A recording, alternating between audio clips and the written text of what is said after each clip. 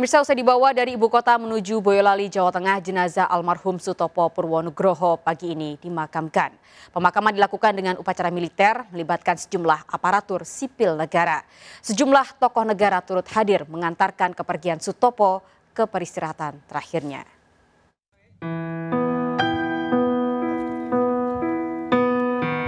Dengan tata upacara militer, Kepala Pusat Data Informasi dan Humas BNPB, Sutopo Purwonugroho, diantarkan ke peristirahatan terakhirnya di TPU Sonolayu, Boyolali, Jawa Tengah. Dengan hikmat, para peserta upacara yang tak lain merupakan aparatur sipil negara serta anggota Badan Penanggulangan Bencana Daerah Provinsi Jawa Tengah dan Kabupaten Boyolali mengikuti rangkaian prosesi.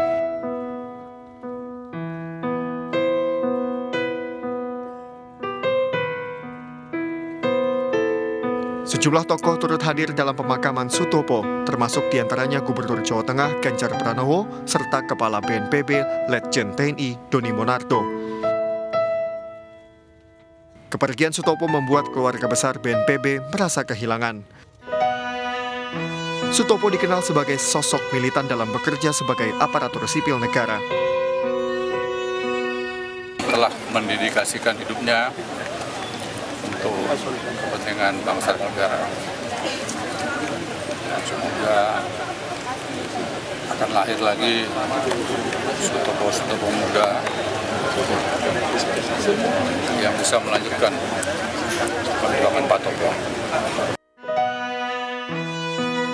Sutopo meninggal dunia pada Minggu 7 Juli 2019 sekitar pukul 2 waktu setempat saat sedang menjalani pengobatan kanker paru-paru di Guangzhou St. Stamford Modern Cancer Hospital, Tiongkok.